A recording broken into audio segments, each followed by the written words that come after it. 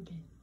So grade eights, I'm going to make you do a little bit more work since you maybe do these videos.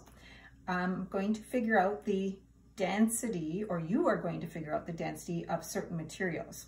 So I'm going to use eight blocks, and you can see them here on the table, and you are going to calculate for me the density so that you can identify what material each of the blocks are made of. So first block, they're all the same size. They're all two and a half centimeters by two and a half centimeters by two and a half centimeters. So you'll be able to figure out the volume in centimeters cubed.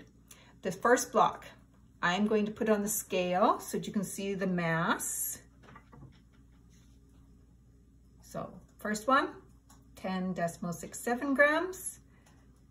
You need to calculate the density to find out what it is. Next one, number two, Mass is 7.54 grams. Number three, 44.82 grams. Number four, 148.15 grams. Number five, 126.73 grams. Number six,